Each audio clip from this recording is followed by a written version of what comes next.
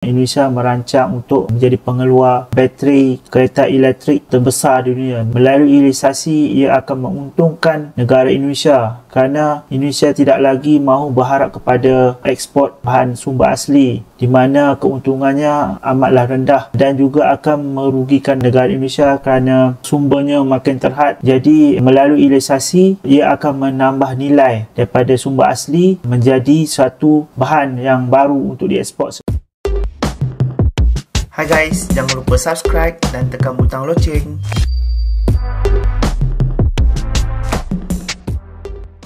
Assalamualaikum, hi guys, welcome back to my channel. Adalah Mustafa, apa khabar anda semua? Semoga anda berada dalam keadaan sihat dipermudahkan segala urusan dan dimurahkan rezeki guys. Ok guys, aku mengucapkan banyak terima kasih kerana sudi datang ke channel ini untuk menonton video-video daripada channel ini guys. Ok guys, jangan lupa subscribe channel ini. Adalah Mustafa, like, komen dan share dan jangan lupa tekan tombol loceng guys. Ok guys, kali ini aku ingin membuat reaksi tentang video yang menarik mengenai kebanggaan Indonesia guys, kehebatan Indonesia iaitu bertajuk Super Bangga. Indonesia selangkah lagi menuju negara maju banyak negara mulai bergantung pada kita guys. Oh guys? Memang betul guys. Banyak negara sudah banyak bergantung kepada Indonesia guys. Ok guys video ini adalah daripada channel Kiki Koto guys. Jangan lupa subscribe channel ini guys sebagai sokongan anda kepada channel ini guys. Menurut channel ini Republik Indonesia merupakan negara yang dianugeri dengan kekayaan sumber daya alam termasuk sumber daya fosil dan mineral guys. Akan tetapi saat ini potensi sepenuhnya yang yang bisa dihasilkan dari kekayaan alam tersebut masih belum maksimal. Hari ini kerana sejumlah barang tambang masih memiliki produk hilirisasi yang relatif terbatas dan sebetulnya masih bisa dikembangkan untuk memberikan dampak ekonomi besar bagi Indonesia guys. Presiden Joko Widodo atau Jokowi mengatakan hilirisasi sumber daya alam yang saat ini sedang digiatkan perintah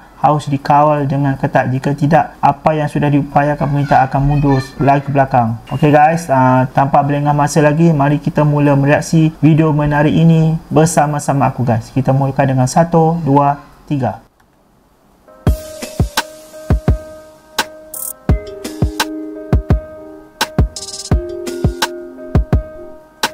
Presiden Jokowi ingin negara lain bergantung pada Indonesia RI tak bisa maju kalau tak lakukan hilirisasi.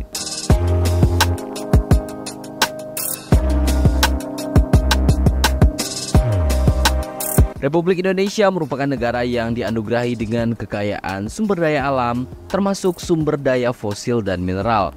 Akan tetapi saat ini potensi sepenuhnya yang bisa dihasilkan dari kekayaan alam tersebut masih belum maksimal. Hal ini karena sejumlah barang tambang masih memiliki produk hilirisasi yang relatif terbatas dan sebetulnya masih bisa dikembangkan untuk memberikan dampak ekonomi yang jauh lebih besar bagi Indonesia. Presiden Jokowi mengatakan hilirisasi sumber daya alam yang saat ini sedang digiatkan pemerintah harus dikawal dengan ketat. Jika tidak, apa yang sudah diupayakan pemerintah akan mundur lagi ke belakang seperti tahun-tahun sebelumnya. Hal ini disampaikan oleh Jokowi saat menghadiri Mandiri Investment Forum di Jakarta beberapa waktu yang lalu. Ini semuanya harus konsisten dan harus dikawal. Kalau tidak, kita mundur lagi ke belakang. Begitu kata Jokowi saat dikutip dari tayangan program Breaking News Kompas TV. Jokowi mengatakan, Indonesia tidak boleh lagi jadi negara yang hanya mengekspor bahan mentah karena jika hanya jadi pengekspor bahan mentah, Indonesia tidak akan mendapatkan nilai tambah yang lebih besar. Karena ini memang harus konsisten. Dan kalau enggak, kita balik lagi ke ekspor bahan mentah dan enggak dapat nilai tambah sampai kapan pun. Begitu ujar Presiden Jokowi. Ia meminta kepada jajarannya dan para pengusaha jangan hanya berpuas dengan hilirisasi nikel yang sudah jalan. Saya sampaikan ke menteri jangan tengok kanan kiri, urus terus hilirisasi. Diugat WTO, kalah, tetap terus. Ini yang akan melompatkan negara berkembang jadi negara maju. Jangan berpikir negara kita bisa jadi negara maju kalau takut menghilirisasi sumber daya Betul, alam kita. Begitu sebut mantan gubernur DKI Jakarta itu. Di samping itu, Jokowi juga menyinggung soal hilirisasi di acara HUT salah satu partai yang dihadiri oleh Presiden. Ia menyampaikan, hilirisasi bisa membantu Indonesia keluar dari jebakan kelas menengah atau middle income trap. Lantaran bisa menyediakan apa-apa yang dibutuhkan oleh negara lain. Kita tahu yang namanya negara-negara di Amerika Latin. Saya enggak usah sebut nama negaranya, nanti ada yang tersinggung.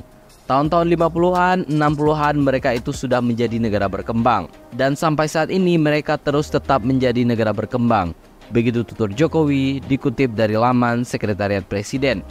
Saya pelajari, ada apa ini? Kenapa bisa seperti ini? Kenapa semua negara di sana tetap menjadi negara berkembang?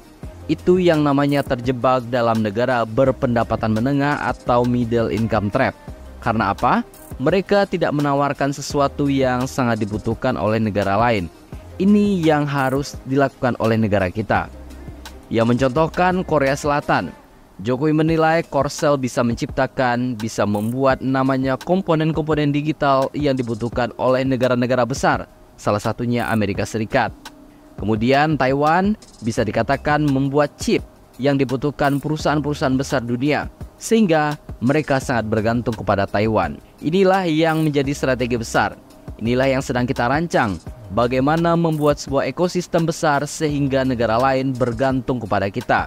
Itulah yang kita namakan baru ramai sekarang ini namanya hilirisasi. Begitu ujar Jokowi. Namun Jokowi mengingatkan hilirisasi ini bukan nikel saja. Indonesia saat ini sedang berupaya untuk mengembangkan industri baterai listrik atau electronic vehicle battery, lithium battery. Di situ ada komponen dari nikel, di situ ada komponen dari tembaga, di situ ada komponen timah, di situ ada komponen bauksit yang semuanya harus kita satukan kita integrasikan sehingga muncul nanti yang namanya electronic vehicle battery dan babak selanjutnya ekosistem yang lebih besar yang namanya mobil listrik. Yang ke depan mau tidak mau semua negara akan mencari barang ini, entah lithium baterinya atau electric vehicle baterinya maupun mobil listriknya. Semua akan menuju ke sana karena sekarang semua negara memberikan insentif rakyatnya untuk membeli mobil listrik tersebut. Inilah yang sedang kita rancang dan negara lain tahu mengenai ini.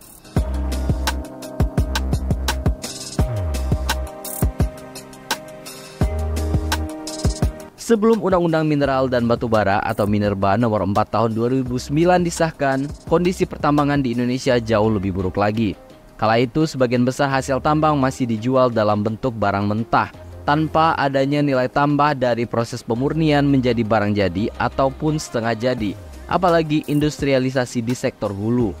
Sebelum larangan ekspor tahun 2014 diimplementasikan, Indonesia memang mengekspor tanah air berupa barang tambang mentah dalam bentuk konsentrat dengan harga terdiskon signifikan. Pasca penerapan Undang-Undang Minerba, ekspor barang galian mentah resmi dihentikan, kecuali beberapa saat ketika pemerintah memperlakukan relaksasi ekspor. Meskipun sempat membuat sejumlah perusahaan kelimpungan, kebijakan tersebut nyatanya memberikan dampak positif jangka panjang. Hal ini terlihat dari mulai tumbuhnya sejumlah industri pengolahan mineral, khususnya smelter yang semakin hari semakin bertambah. Hilirisasi tidak hanya meningkatkan nilai tambah signifikan pada harga mineral yang telah diproses dibandingkan penjualan langsung barang tambang mentah. Pembangunan sejumlah pabrik atau kawasan industri juga memberikan efek ganda karena mampu menyerap semakin banyak tenaga kerja membuka lapangan ekonomi baru bagi warga sekitar hingga penerimaan pajak bagi negara. Menyinggung tentang peran penting komoditas tambang, komoditas tambang menjadi bagian integral dari denyut kehidupan manusia modern. Seluruh aspek kehidupan manusia telah disentuh oleh kemajuan teknologi yang mampu memproses barang tambang menjadi perangkat elektronik, otomotif, barang konstruksi hingga kosmetik. Data Mineral Education Coalition Amerika Serikat menyebut bahwa setiap bayi yang lahir di negeri Paman Sam akan membutuhkan banyak mineral demi menopang kehidupannya. Sepanjang hidupnya, setiap individu di Amerika diperkirakan membutuhkan sebanyak 0,37 ton tembaga, 47 gram emas, 0,94 ton aluminium dan sejumlah barang tambang lainnya. Kebutuhan tersebut tidak langsung dalam bentuk logam utuh, melainkan sudah tercampur dengan bahan-bahan lain yang terdapat pada produk akhir yang diterima konsumen. Sebagai contoh, emas dalam jumlah terbatas ikut digunakan di sejumlah perangkat elektronik, termasuk telepon genggam, komputer hingga kartu seluler. Kemudian ada tembaga yang banyak digunakan di perangkat di rumah tangga, seperti mesin, kabel, pipa ledeng. Selain itu, tembaga juga digunakan pada perangkat elektronik, medis hingga paduan logam di perhiasan. Aluminium yang merupakan hasil olahan biji bauksit juga digunakan untuk berbagai macam produk termasuk kaleng, foil, peralatan dapur, bingkai jendela hingga suku jadang pesawat.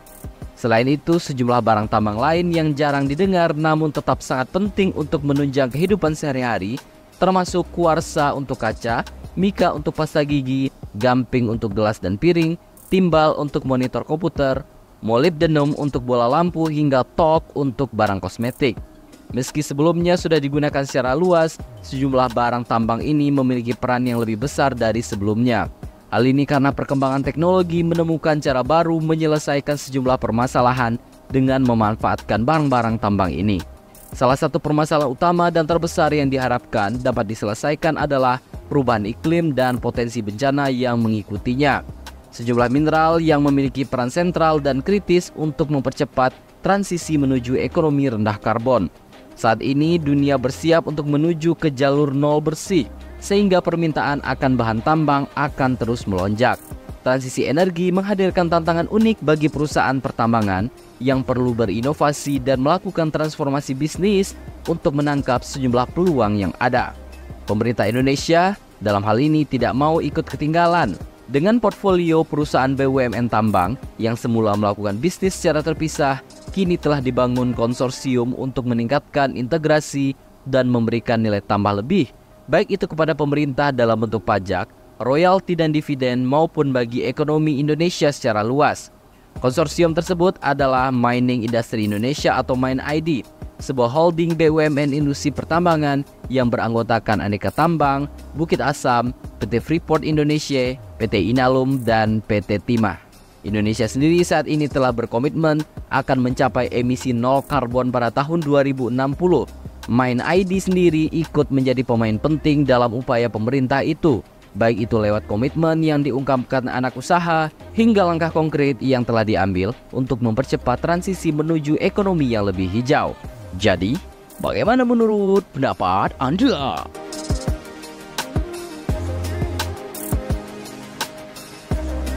Subscribe channel TV Foto guys.